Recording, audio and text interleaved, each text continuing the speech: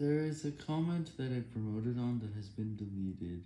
It's very sad to see that one of the links that I've left on Dylan's videos has finally just been removed, Be and along with several other people as well.